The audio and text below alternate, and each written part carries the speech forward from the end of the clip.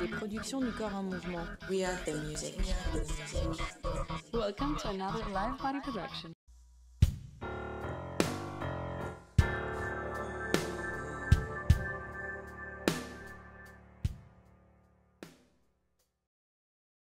Let's get in as many questions as we can. The next one's from writer Sarah Byam. She wants to know when your parents die, Social Security covers you through the delicate post teenage years.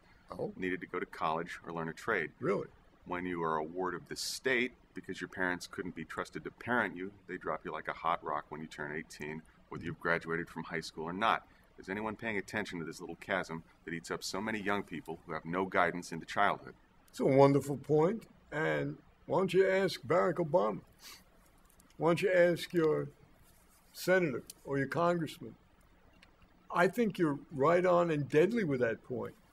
And if that constituency, the one you just described, went like this and said, We'll give our vote collectively, every damn one of us, to the person who puts that program in effect, you'd have to get out of the way to be a politician stampede. The answer to your question is that this is not a country where justice is the rule. It's a country where power is the rule. We're somewhat ameliorated that effect. So, you know, it's not a fascist country. You get to vote, you get to do certain things.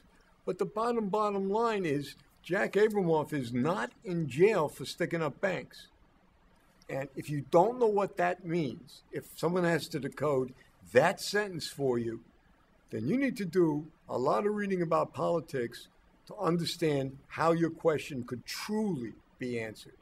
Not by platitudes, not on a talk show, but by specific legislation addressing the exact issue you pointed out, which is a solid and righteous issue.